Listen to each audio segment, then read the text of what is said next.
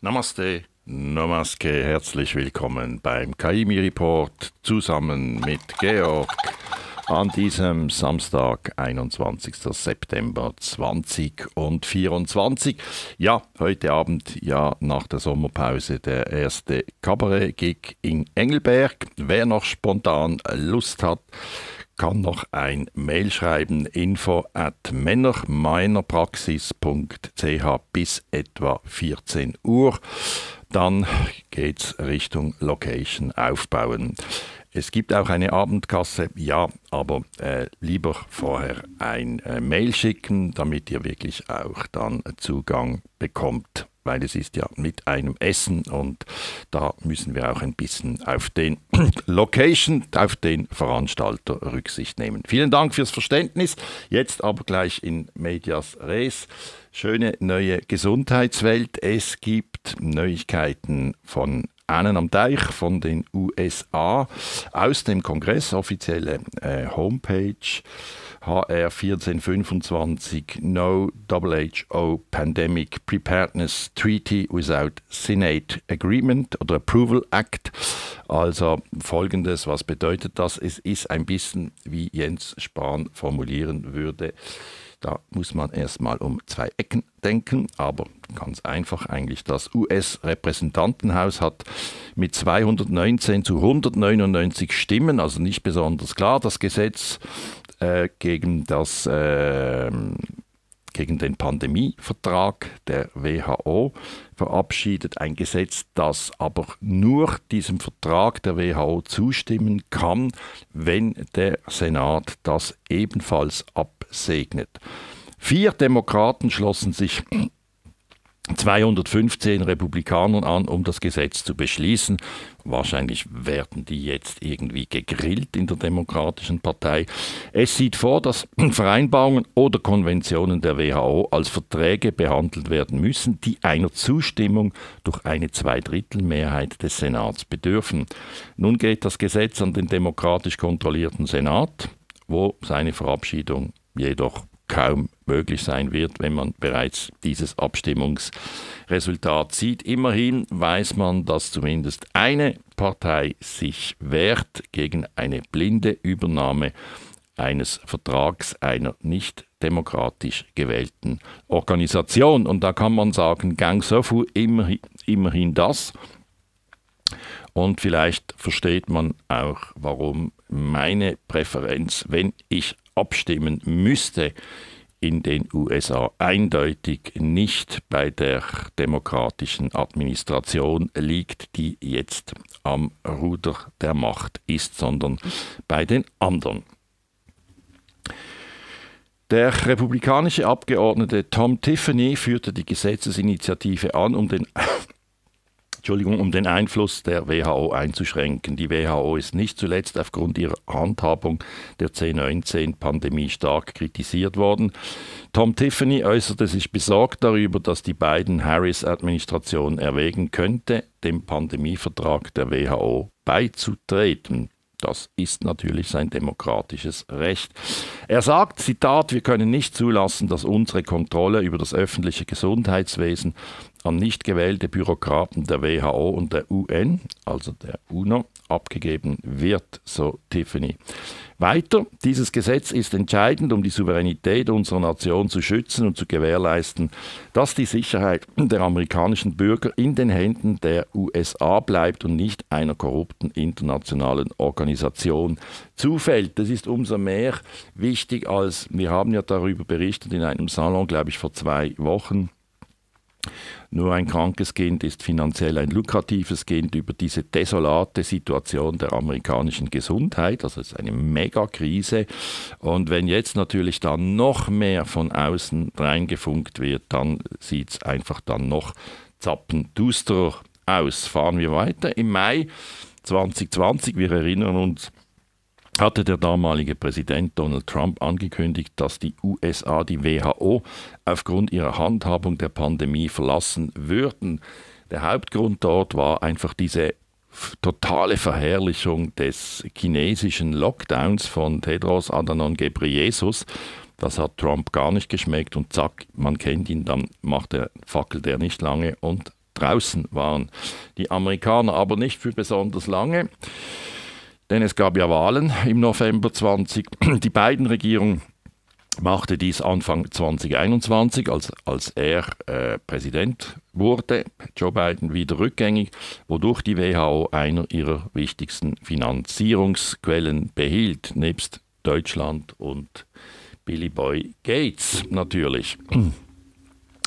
Die Frage, ob in der Schweiz der Pandemievertrag dem Parlament zur Ratifikation vorgelegt werden muss und ob er referendumspflichtig ist, will der Bundesrat, also die Landesregierung, erst beantworten, wenn der definitive Wortlaut vorliegt. Da gab es ja auch eine Interpellation von äh, Franz Grüter von der SVP, der verschiedene Fragen gestellt hat, unter anderem, ob eben auch schon die Kantone befragt wurden also alles pendent und ich hoffe doch schwer, dass so etwas referendumspflichtig ist.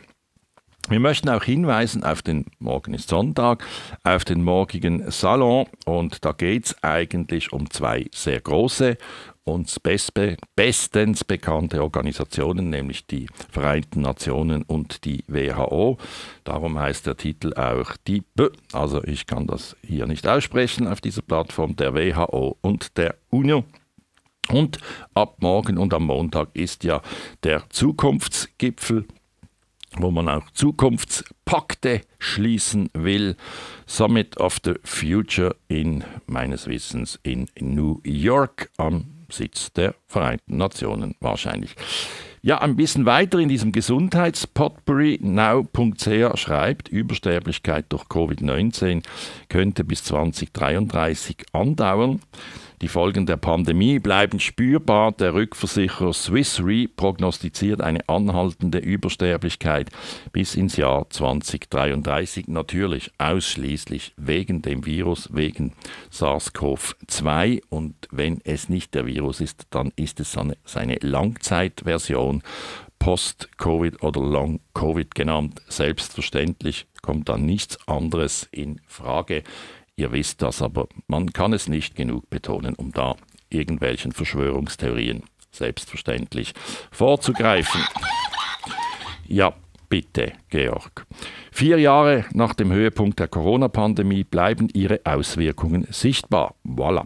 In einem kürzlich veröffentlichten Bericht der Swiss Re börsenkotierte große Rückversicherungsgesellschaft der Schweiz, auf eine beunruhigende Statistik hin. In vielen Ländern ist die Sterblichkeitsrate immer noch erhöht, eine Situation, die als Übersterblichkeit bekannt ist.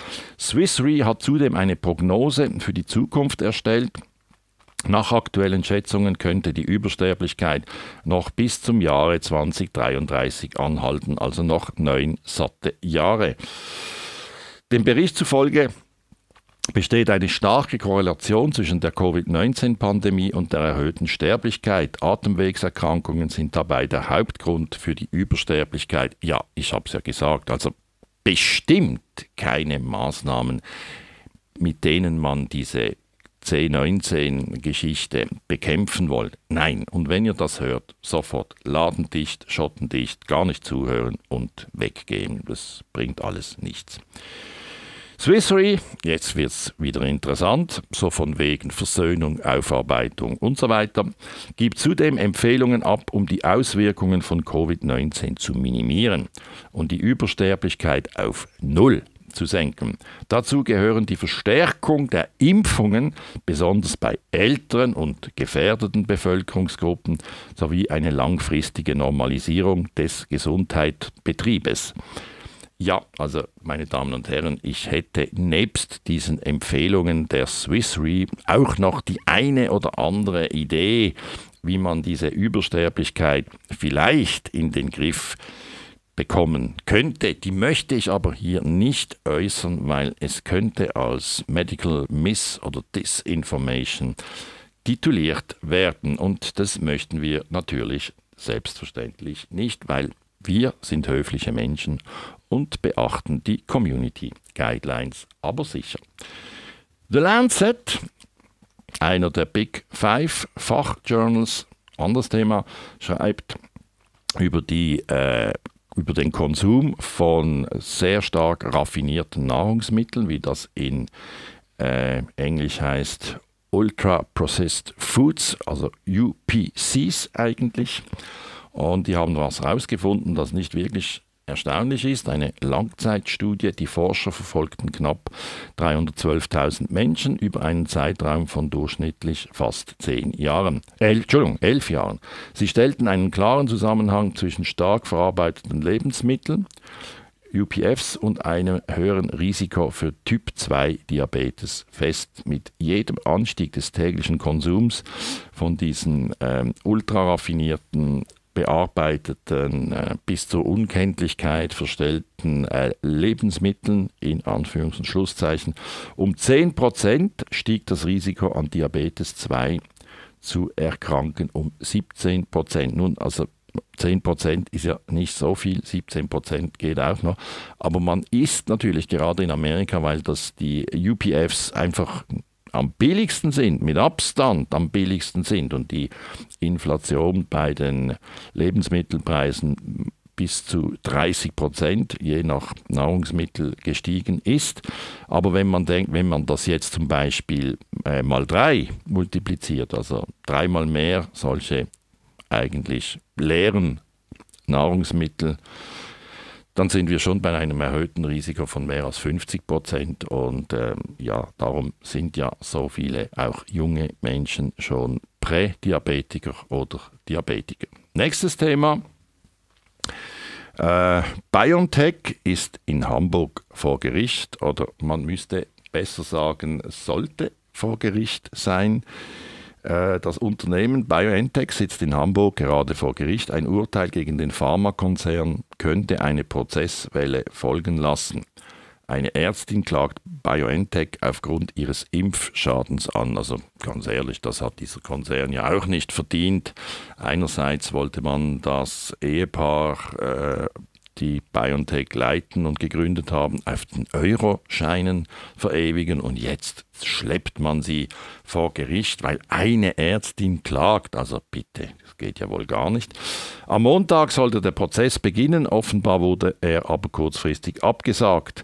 Die Klägerin, eine Ärztin, klagt BioNTech auf 150.000 Euro Schmerzensgeld. Sie ist eine von vielen impfgeschädigten Personen. Seit der Impfung leidet sie unter Schmerzen im Oberkörper, Schwellungen der Extremitäten, Erschöpfung, Müdigkeit und Schlafstörungen vielleicht noch äh, Gehirnnebel und dann hätten wir das sogenannte Long-Covid oder Post-Covid-Syndrom. Nun, 150.000 Euro, da wird sich jeder Anwalt in Amerika den Bauch kaputt lachen, weil da für das beginnt er schon nicht mal jemanden zu empfangen und seine Mitarbeiter dürfen dieser Menschen nicht mal einen Kaffee rauslassen. Also das ist ja nicht mal Warm-up Warm-up, Entschuldigung, nicht Warm-up, Warm-up. Der Prozess ist brisant, das Urteil wird richtungsweisend sein. Für BioNTech ist es das erste Verfahren in Deutschland, das den Covid-mRNA-Impfstoff Comirnaty, das ja mit Pfizer zusammen distribuiert wird, betrifft. Sollte die Klägerin gewinnen, könnte das für viele weitere Impfgeschädigte die Perspektive auf Entschädigung eröffnen. Verliert sie allerdings, wird man beim Mainzer Unternehmen an der Goldgrube 12 wohl durchatmen. Naja, schauen wir mal, was da rauskommt. Aber es gibt ein kleines Aber. Naturgemäß bestreitet BioNTech die Vorwürfe. Ohne Angaben von Gründen wurde der Prozessbeginn letzte Woche dann verschoben. Eigentlich hätte er am Montag 10 Uhr stattfinden sollen. Ein neuer Termin stand nicht fest. Ja, das hat doch wir wollen da überhaupt nicht spekulieren, weil sonst sind wir mittendrin statt nur dabei in Verschwörungstheorien. Aber so ein, ein bisschen ein Geschmäckle hat es eben schon. Schauen wir mal, wie das Ganze weitergeht, ob es überhaupt dazu kommt. In Amerika wahrscheinlich nicht, würde es nicht dazu kommen, weil No Liability, das war ja die Bedingung für das Warp Speed Programm, damals noch von Trump, kein Ruhmesblatt von ihm. Und die, die Produzenten, Moderna, Pfizer und so weiter, haben ja gesagt, also wir machen das, diesen Impfstoff, großzügigerweise, Forschungsgelder vom Staat, Gewinn bleibt bei uns, aber wir lehnen jegliche äh, Verantwortung und Verklagbarkeit a priori ab und man ist darauf eingestiegen. Offen ist auch die Frage nach der Haftung. Voilà. Nicht auszuschließen, dass per Vertrag zwischen EU-Kommission und BioNTech von Frau von der Leyen nicht der Konzern, sondern der Staat, also wir, ihr alle, haften wird müssen. Aber dafür bräuchte es zunächst einen Schuldspruch gegen den, die Hersteller. Und wir haben ja berichtet, dass äh, tolle Gewinnaussichten für das dritte und vor allem vierte Quartal ähm, prognostiziert werden. Das haben wir vor etwa eineinhalb Monaten gemacht und an der Börse läuft es indes gerade wieder gut. Im letzten Monat sind die BioNTech-Aktien um 40 Prozent gestiegen. Nach den schlechten Kursen im Sommer, wir haben darüber berichtet, geht es aktuell wieder steil bergauf. Und seht ihr, meine Damen und Herren, das sind so diese diese kleinen Botschaften, die sind nicht mal zwischen den Zeilen, sondern ihr seht, die sind auf den Zeilen oder voll in den Zeilen. Aber da fragt man sich doch, hey, wenn ihr mit Leuten sprecht, ob jetzt, ob die KI-Reporter der Tagesschau, SRF oder ARD gucken, viele sagen, nein, also das würde ich mir nicht mehr spritzen lassen und das mache ich nie mehr und so weiter. Und jetzt 40 Prozent mehr bei BioNTech, was haben die sonst noch in ihrem medikamentösen Repertoire als diese Impfung? Und 40 Prozent, obwohl ja fast alle sagen, das würde ich nicht mehr machen. Was wissen Börseninsider, was wissen Börsenanalytiker, the Masters of the Universe, was wir normale Viertelbürger nicht wissen? Großes, dickes Fragezeichen. Aber BioNTech scheint es so gut zu gehen, in der Tat, nach dieser Krise, Quartal 1, 2, 2024, dass sie jetzt als Sponsor im teuren Profifußball einsteigen und zwar bei Mainz 05. Eigentlich eine durchaus sympathische Mannschaft in der ersten Bundesliga, halten sich dort meistens kurz vor der Abstiegszone, nicht so riesige Budgets, nicht die großen Star-Einkäufe aber liefert sich jetzt BioNTech aus und folgt damit dicht im Windschatten von dem BVB Borussia Dortmund, die ja jetzt Rheinmetall als Sponsor, Hauptsponsor haben. Und es kam bei der Kurve, das ist eine Riesenkurve, wer schon mal in diesem Stadion in, in Dortmund war, das ist unglaublich, also wenn man als eigene Mannschaft auf diese Kurve spielt, das ist wahrscheinlich wie wenn man einen Spieler mehr, also der berühmte zwölfte Mann auf dem Platz hat. Aber die finden das überhaupt nicht toll und die kommen dann mit solchen Dingen. Ne? Also gelb-schwarz, das sind die Farben äh, von Dortmund und BVB ist der Name. Wir schießen nicht nur Tore. Und das ist, finde ich, eine klare Quittung an die Vereinsführung. Und äh, ja, mein alter Kalauer, wie kann man als Spieler äh, vor einem Spiel ein solches Trikot überziehen, auf dem in großen Lettern Rheinmetall steht, direkt auf Brusthöhe und dort ist auch das Herz lokalisiert was gehen da für Energien in den Kopf und in die Beine? Fußball wird ja primär mit den Beinen und ein bisschen mit dem Kopf gespielt. Das nennt man Kopfball.